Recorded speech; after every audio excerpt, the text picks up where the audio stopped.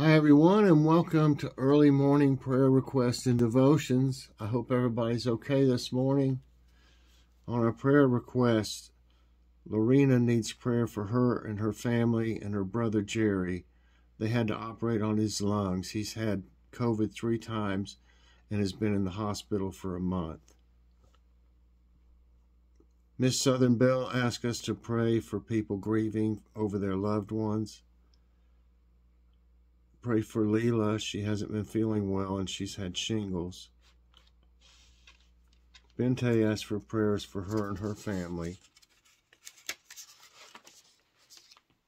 Back a little. Sorry about that.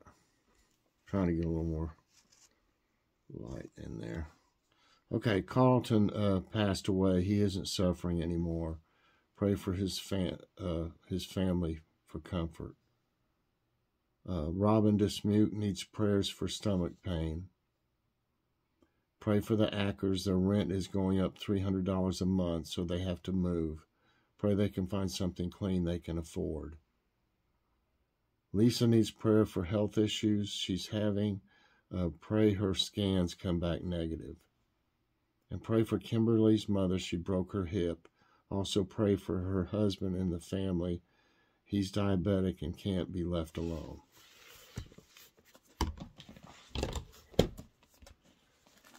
All right.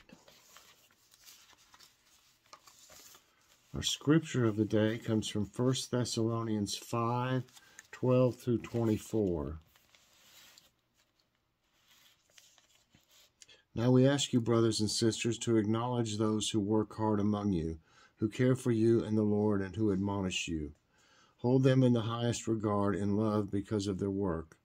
Live in peace with each other, and we urge you, brothers and sisters, warn those who are idle and disruptive, encourage the disheartened, help the weak, be patient with everyone.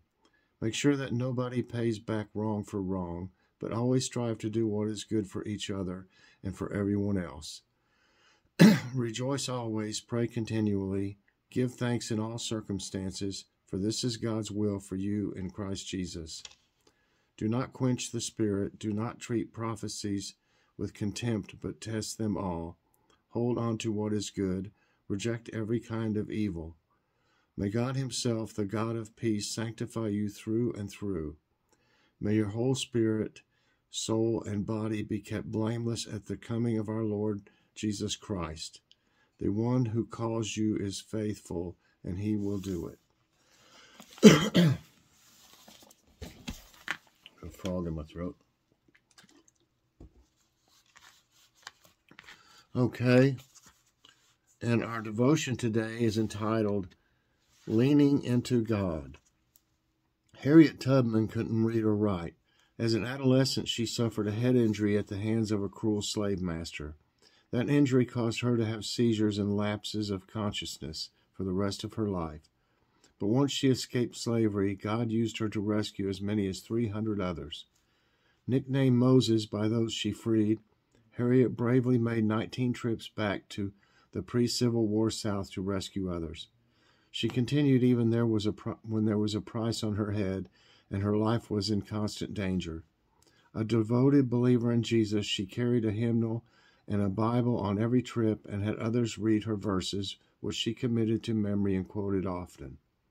I prayed all the time, she said, about my work everywhere. About my work everywhere, I was always talking to the Lord. She also gave God credit for the smallest successes. Her life was a powerful expression of the Apostle Paul's instruction to the earliest Christians. Rejoice always, pray continually, give thanks in all circumstances, for this is God's will for you in Christ Jesus. When we lean into God in the moment we live and live dependently in prayer, praising Him despite our difficulties, He gives us the strength to accomplish even the most challenging tasks. Our Savior is greater than anything we face, and He will lead us as we look to Him. How does spending time in God's presence make you stronger? In what ways will you lean into Him today? Loving and Almighty God, please help me to live every moment with you today and to receive the strength you alone can give. And Lord, I want to pray today for everyone on our prayer list. Please help all of them with their different needs and help anyone out there that's been affected by the virus. In Lord's name I pray. Amen. I hope you all enjoyed this early morning prayer request and devotions. If you did, I hope you'll press that like button. Also, subscribe if you haven't already, and hit that so you get all my videos as soon as they come out. I hope everybody has a great morning, and I will see you later on on Morning Coffee Break. Bye, everyone, and God bless.